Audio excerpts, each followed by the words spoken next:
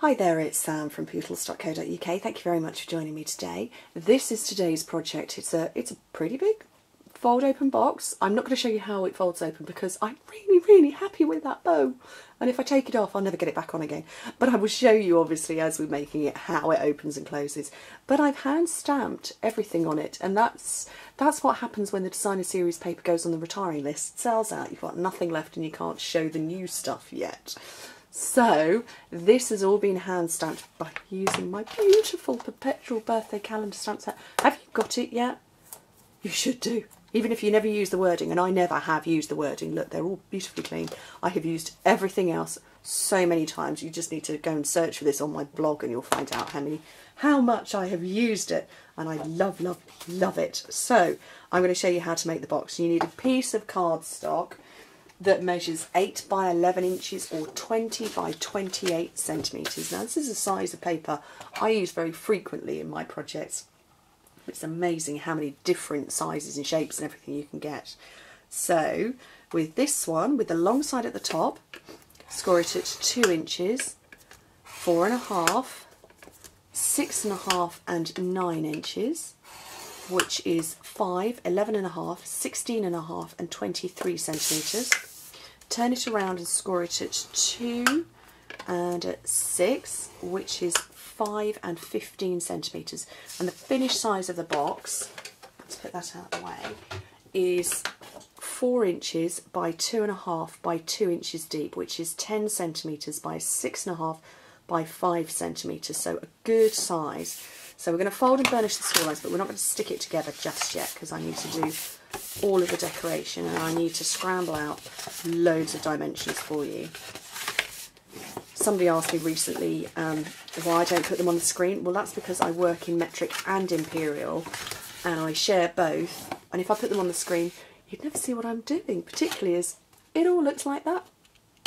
So please don't worry about writing anything down because it will all be on my blog for you. Um, so don't worry about doing that. Just head over there. There is a direct link to this project um, in the description bar below. So, okay, so I'm cutting and notching and because this is a big box, you can't get away with just chopping. You have to notch and it's worth it to get the smooth, perfect finish. It, trust me, it really is take a few extra minutes and it's worth it. I'm besides you get to listen to me ramble on a little bit more. I don't know if that's a good thing or a bad thing. So just cut these.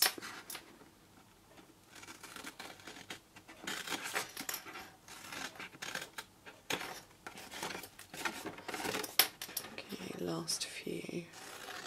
So I'm notching, I'm keeping the rectangles as whole and I'm cutting into the squares. The squares are what are going to be hidden away.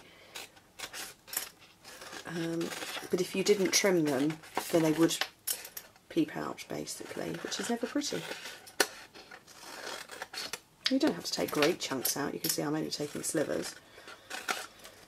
Okay, so I need to put that to, oops, that to one side to then give all of the measurements for everything else. So my original box was Sahara Sand with Wisteria Wonder and then Whisper White on top. So the colour is the bigger of the two sets of measurements that you're going to do. So you need one piece for the top that measures three and a quarter, sorry, three and three quarters by two and a quarter, which is nine and a half by six. Like I say, don't worry about writing these down. I'll give them to you anyway. Two for the front and back that are three and three quarters by one and three quarters, so nine and a half by four. And then you need two for the sides, which is that and that, which are one and three quarters by two and a quarter.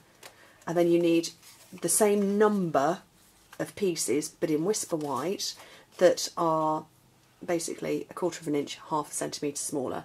So uh, let me go with this. Let, oh, I've got, I thought I'd lost one. Three and a half by two, so that's nine by five and a half, these two, three and a half by one and a half, nine by four. These two, one and a half by two, four by five and a half. Okay, put the coloured ones out of the way and we're going to stamp on the white ones. And so as I said, I've got Perpetual Birthday Calendar. This is the one I used on my original. I'm going to use the butterflies this time round. So I have to be careful to make sure that they're all the right way round. So I'm going to stamp the paler, the crumb cake I've used on this one.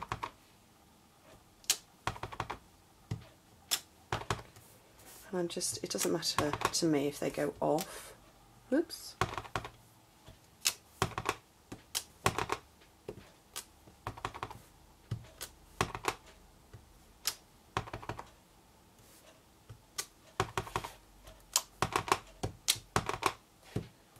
Okay, and my stamping scrub is just to my right. And I've got, I'm just going to clean that stamp. Oh, apparently peel it off the block. Because I'm going to come in with some Marina Mist, which is the blue. And just stamp all over them again. Just make sure my butterflies are the right way up.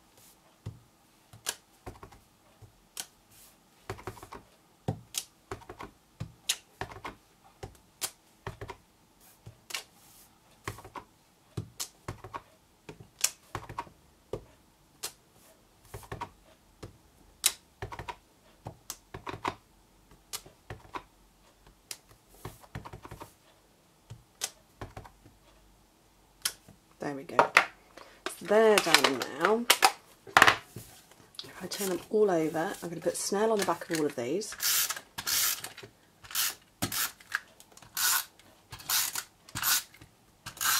Oops, oh. Let's try that again. And then I'm going to basically marry them all up to their counterparts. So there's one.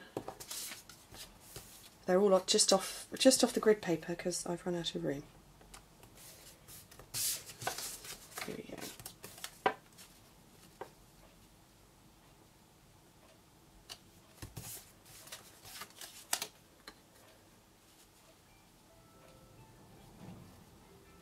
It's my phone. it's noisy. Noisy in the office today.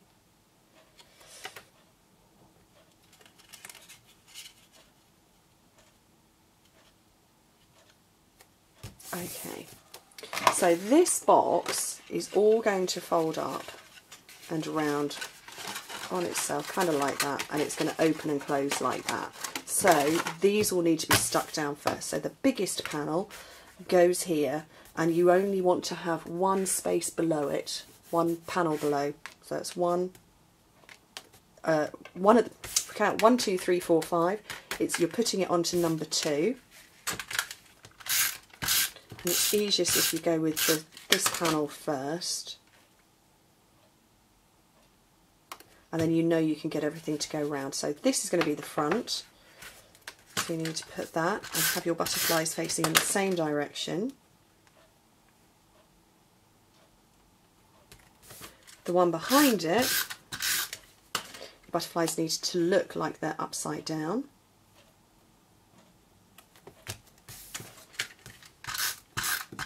and the side panels have your butterflies facing that way, flying towards the centre. I promise you this will all make sense when you build it.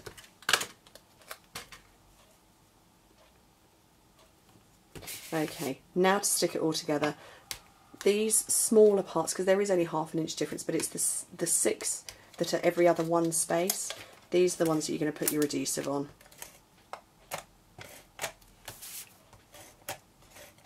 And it's adhesive of your choice as long as it's strong. Snail isn't going to hold cardstock to cardstock together but this is fuse that I'm using and this will. So okay we're going to ignore the, that panel first, we're going to work on what's the bottom of the box. So this loose tab, attach it and the same one on the opposite side. Oh I've got awfully close to the camera, sorry this box is huge. And then these panels also going to come round and match.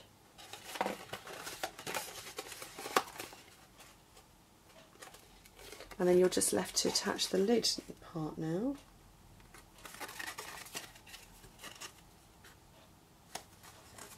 And when I close it up, so now you can see what kind of a close it is. All your butterflies are the right way round. Fabulous, huh? Now just to finish off tying a bow. So I've got Whisper White seam binding ribbon. We don't have one in um, either of these colours. Which is a bit of a shame, but we did have a Wisteria Wonder um, one, which is why I did that, but I think it's going to look just as gorgeous with Whisper White. I am no doubt going to get this bow completely all over the place, aren't I?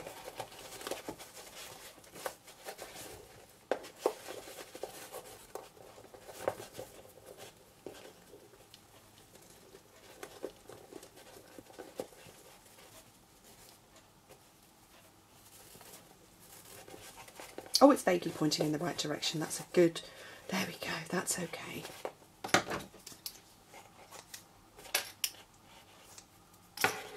And that is my hand-stamped decorated box. I rather like it. I hope you do too. It's a good size box, great for loads of goodies in there. Treats, gifts, all sorts. Anyway, thank you very much for joining me and I hope to speak to you soon. Bye.